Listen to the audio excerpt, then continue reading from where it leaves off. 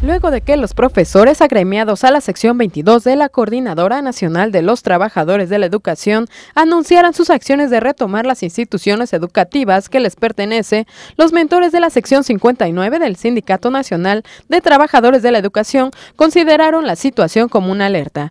Actualmente denunciaron una serie de acontecimientos donde hay agresiones hacia los agremiados y simpatizantes de la sección 59, según señaló el secretario general de la misma. Primera fue la retención que padecieron dos maestros de la sección 59 en la región de La Cañada. Fueron golpeados y después retenidos desde la una y media de la tarde hasta las cuatro y media de la mañana. ¿sí? La segunda acción fue el hecho de haber baleado o balaseado el portón de la casa de un compañero de la sección 59 en la Sierra Sur y la reciente es la que padecieron padres de familia y maestros de la sección 59 en la escuela primaria Monte Albán del municipio de Jojocotlán.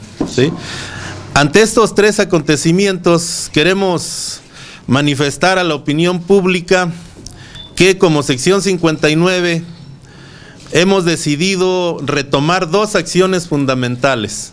La primera que se refiere a retomar la organización conjunta entre los maestros de la sección 59 y los padres de familia, así como las autoridades comunitarias. ¿sí? Ante ello, Echeverría Lara anunció que en los próximos días se congregará un encuentro estatal entre directivos de las escuelas de la sección 59 y padres de familia, donde además solicitarán al gobernador del estado, Gabino Que Monteagudo, una audiencia para establecer los acuerdos a los que el sector educativo debe de llegar.